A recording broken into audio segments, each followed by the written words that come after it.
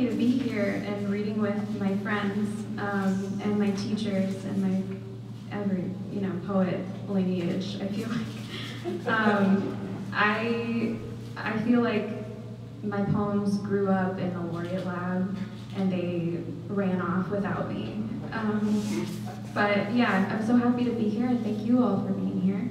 Uh, I'm gonna read I think four poems. Yeah, I, I feel super fortunate. I keep saying that, but I feel fortunate for these friends in poetry, and I feel fortunate to be in love and have these poems find me again um, in that love. So this first one, um, the title is the first line of the poem, so I'll just get in it. I move through a forest, cracking ribs to make more of her. All these almost women, but no man to anoint them real. Isn't that it? How we move a dance floor unanointed, unmanned. I see men who try to make me from their ribs in places they aren't, in people with different faces. Thought I'd double myself in poems to see more of me. I wanted to speak to me, to see my face seeing my face more clearly. I protect by obscuring. I disfigure myself unrecognizable, make new versions of the same. I look so ugly jealous. She sees something in me, a pyrite glint set in rocks she'll pocket. All over her house, altars. I sit at each one and look. I don't dream of the dead anymore, but I'm sure they're still around. She dreams more now than ever.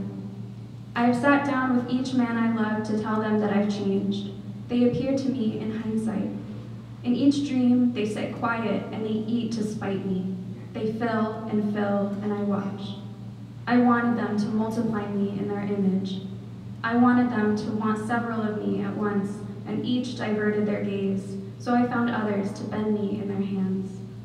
When we close into each other's bodies, we seal micro distances, collapse unrecognizable and dazed in sex in a room of only our breath. I build houses there for you to choose from. You can have a room in each one, a room for only this closeness, a room for silence that clings to each tacked frame. I build houses for she and I with each rib I cracked to make more of her.